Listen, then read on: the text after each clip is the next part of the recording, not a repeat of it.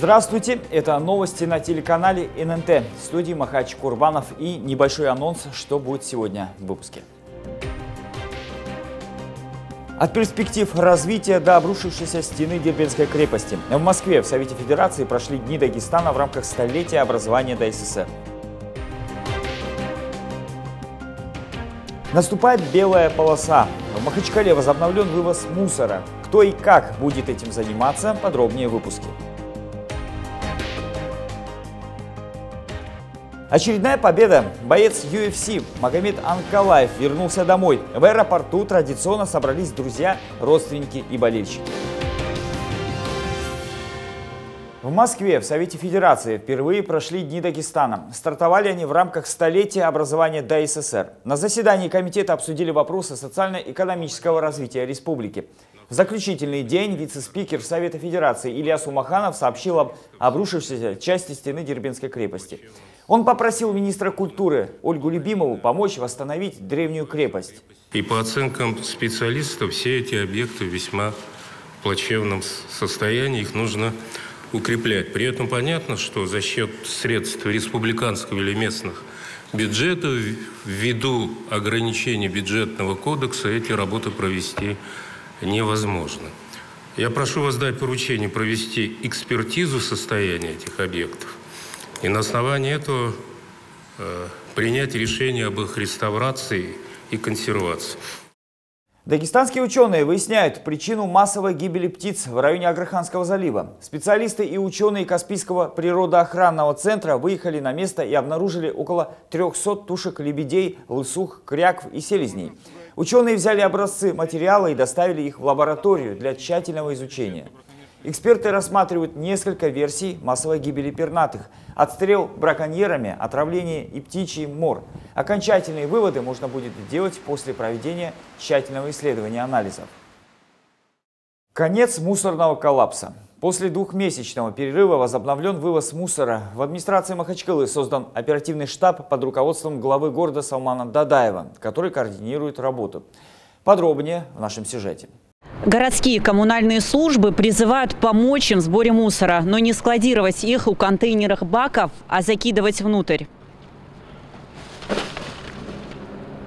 Теперь убирать мусор в Махачкале будут муниципальные организации, которые станут временными региональными операторами. Для проведения полноценного вывоза уже готова специализированная техника, формируются бригады рабочих. По словам коммунальщиков, уже за несколько дней можно будет разгрузить столицу от мусора. В первую очередь мы боролись с тем, что ликвидировать эти навалы и привести нормативное состояние территории города и контейнерной площадки города. Ну, практически данная работа завершена. Сегодня-завтра уже полностью мы очистим весь город. Для ускорения процесса уборки служба занятости совместно с администрацией Махачкалы организовали ярмарку вакансий. По их мнению, это позволит набрать рабочую силу для быстрой очистки города. Ну, вы знаете, а, как остро стоит вопрос с мусором в городе. Для этого были приглашены работодатели МКУ Махачкала-1, который занимается уборкой мусора.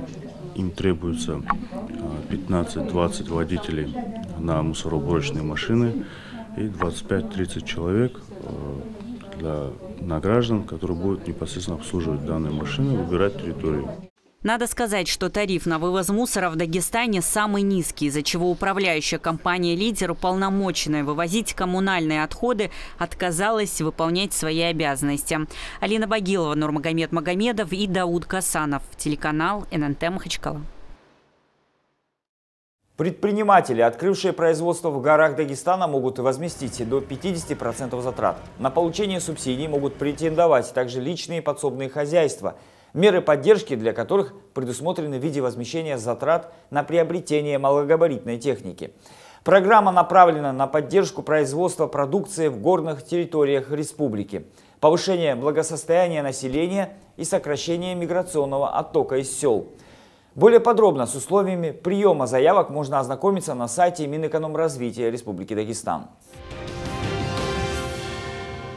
Боец UFC Магомед Анкалаев вернулся домой после очередной победы. 27 февраля на турнире в Лас-Вегасе махачкалинец одолел спортсмена из Украины Никиту Крылова. На родине Анкалаеву и его личному тренеру Сухрабу Магомедову устроили торжественный прием. В аэропорту собрались порядка 200 преданных болельщиков – Радость победы вместе с триумфаторами разделили родные, друзья и земляки из Шамильского района. Ваши пожелания, ваши дуа, наши действия, наши тренировки, и все у нас получится вместе. Иншаллах, вперед. Всем салам алейкум, баракалла за все.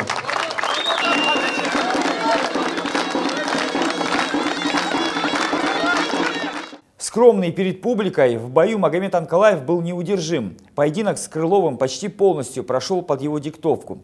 Шестое подряд успешное выступление позволило дагестанцу подняться на седьмую строчку рейтинга ведущих полутяжеловесов.